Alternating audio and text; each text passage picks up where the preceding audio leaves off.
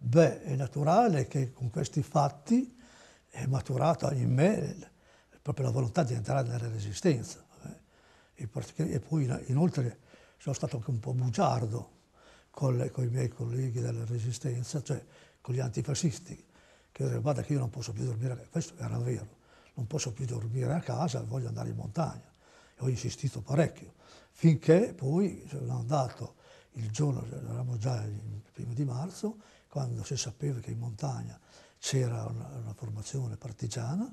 io volevo, io volevo, andare in montagna. E io e, il mio amico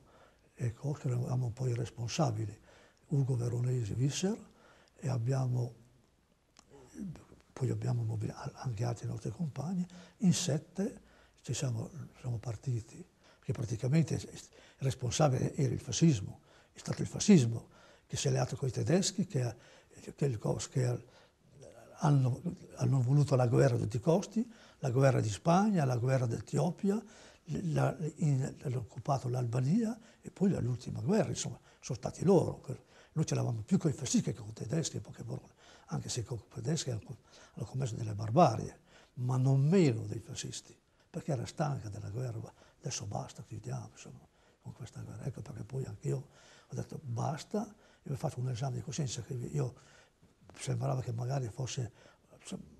responsabile, infatti era anche responsabile, perché il mio lavoro che facevo, facevo le armi, mi sentiva un po' anche responsabile di quello che è stato, anche un complice anche di queste, di queste cose. Perciò anche con gli amici cercavamo di andare in montagna e per combattere i fascisti tedeschi, proprio con una carica che voi altri non, non potete neanche immaginare, poche parole.